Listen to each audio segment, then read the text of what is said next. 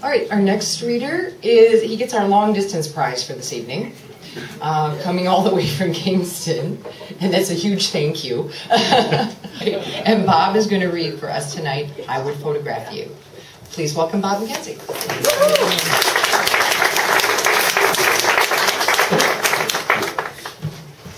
Oh, this almost fits my mouth. Do it this way.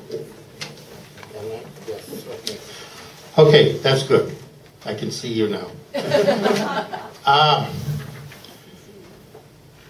the American painter Andrew Wyeth did a sort of famous painting called Christina's World.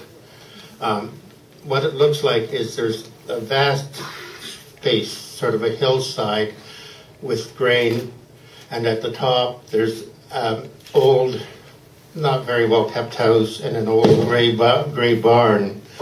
And at the bottom, there's a crippled girl. This is Christina, and she's looking up toward the houses. She's she's laying. She she has to crawl. She can't walk because she has polio, and she's laying there with her arm outstretched toward the house. And if you think about this painting, it can be very dark, uh, and and yeah, but I, I, I've never, I, I always know the name, I always forget it. I always think of it as Christina's dream. And, and I see other happier things happening with the dream than with her world as seen by Wyeth. I, I, I can see that she's not held back from the house by the space, but that she's moving toward it. And so I, I wrote a series of three poems based on that painting, and this is the middle one. I would photograph you. I would photograph you in just that way. You reclining among the wind-blown grain, the sun winnowing its light through your hair, your cotton summer dress soft in its light.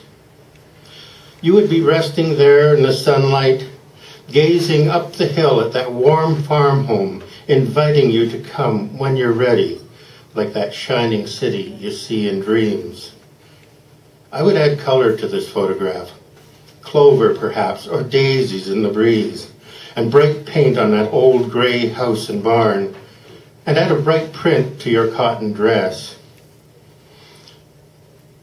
I would photograph you in just that way, lit by sunlit light, in a world of flowers where songbirds sing and the sun seeks you out.